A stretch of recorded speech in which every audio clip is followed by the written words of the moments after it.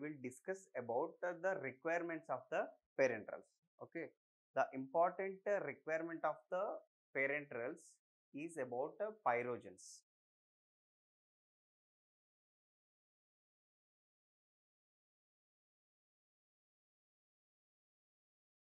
So, what are pyrogens? Basically, the substance substance.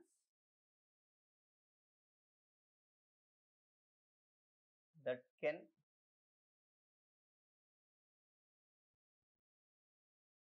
generate pyrexia. Okay. Substance that can generate pyrexia. See here the name generation of the pyrexia. Generation of the pyrexia is nothing but the substance is called pyrogen so now what kind of substances that can cause this pyrexia and what is pyrexia? So pyrexia is nothing but increase in body temperature. Increase in body temperature. This response we can call it as a fever right? If body temperature increases we can call it as a fever. That means pyrogen causes fever. Pyrogen causes fever okay. So in the parenterals are injectables. So what we are doing? So we are injecting the formulation directly into the systemic circulation. We are injecting the formulation directly into the systemic circulation. So there is no barrier to protect. So that's why we need to check these pyrogens before this injection release into the market right? Before it release into the market we need to check whether this formulation contains pyrogens or not. That is mandatory right? If pyrogens are present what happen? If patient he will take this injection it contains pyrogen it will cause fever to the patient okay? So that's why there is a requirement. There is a requirement we need to check the pyrogens before before the formulations are entering into the market parenteral formulations we need to check the pyrogens. Okay now so what kind of substances that can cause this pyrexia? Basically the substances from bacteria substances from bacteria that can cause this pyrexia. So now how many types of bacteria are there? Generally we have two types of bacteria gram positive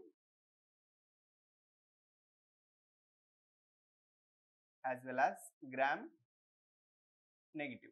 There are two types of bacteria. So the metabolite the metabolite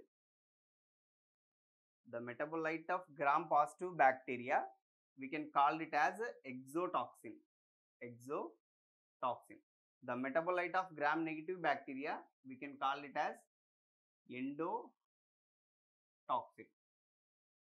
and if you check the potency so exotoxins are less potent in nature. Endotoxins are more potent in nature. And chemistry chemistry of exotoxins are protein in nature. And these are lipopolysaccharide in nature.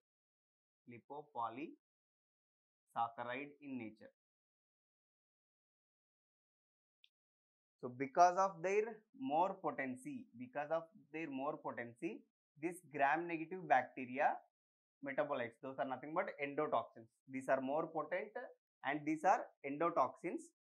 Majorly this endotoxin or more potent gram negative bacteria metabolite is the substance is the substance.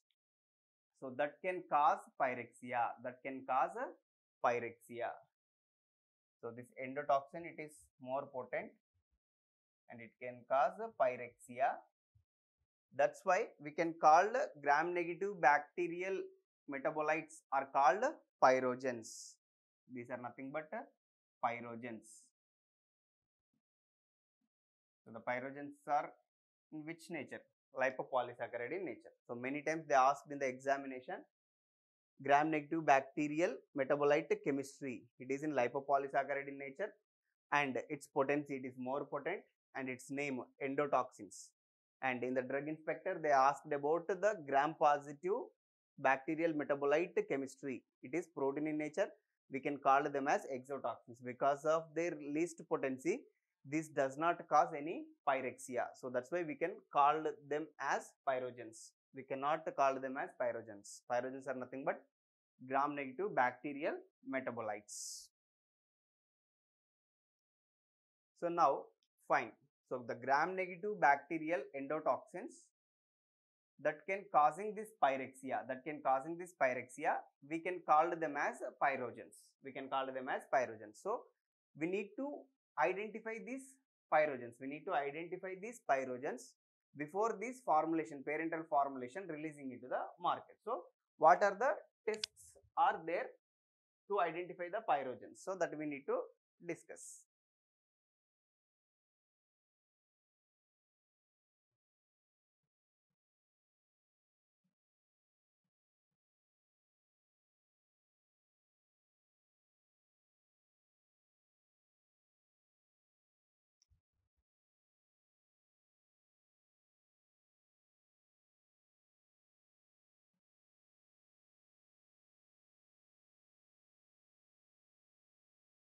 So, presence of pyrogens, presence of pyrogens, presence of pyrogen in formulation.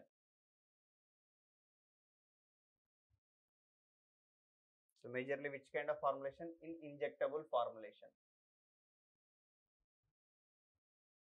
Presence of pyrogens in formulation can be determined by two tests are there. One is in vivo test and another is in vitro tests. So in in vivo test, the animal we will use it is nothing but a rabbit. We will use rabbit as a experimental animal in the in vivo test and here one crab we will take one crab that is nothing but a limulus polyphemus limulus polyphemus so it is a crab. So basically we will use these two experimental animals. In in vivo we will use rabbit. In in vitro we will use crab limulus polyphemus. Okay. So in rabbit test what we will do basically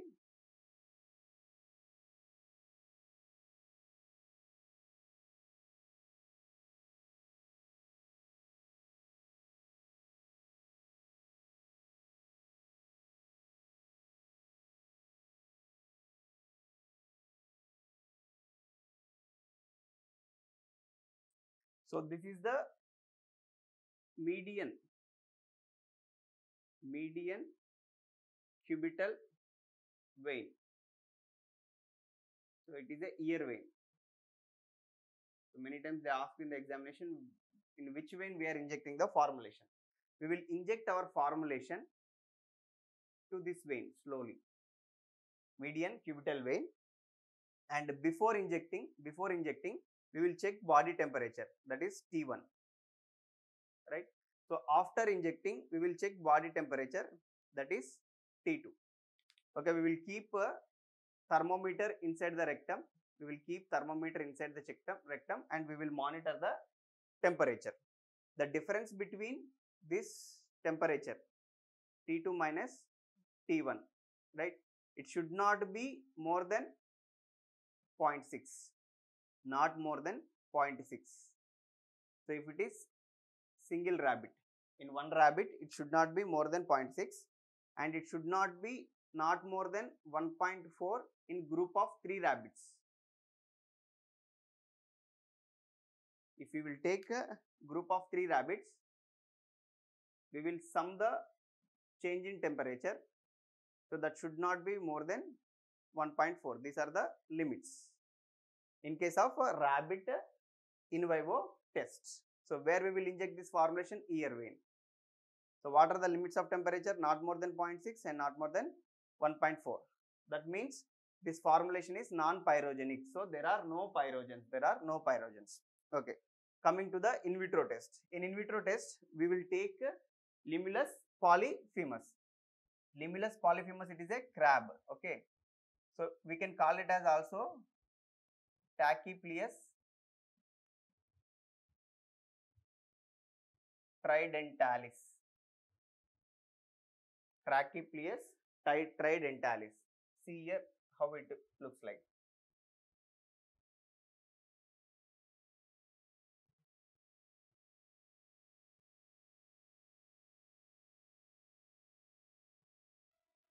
So there are three dents, tridentalis, right? It is a tridentalis. One, two, three. So it is a crab. So this is the blood vessel of the crab. And uh, the shape of this crab looks like horseshoe. So that's why we can call it as horseshoe crab. This crab is also called horseshoe crab.